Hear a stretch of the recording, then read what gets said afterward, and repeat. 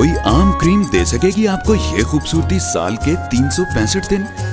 No way. ये मिले सिर्फ़ केयर फेयरनेस वेनिशिंग क्रीम से। एक्स्ट्रा विटामिन और नेचुरल मॉइस्चराइजिंग फैक्टर के साथ केयर का सुबह शाम रोज़ाना इस्तेमाल जिल्द को रखे सदा जवान और आपको बनाए फेयर और फेयर और fair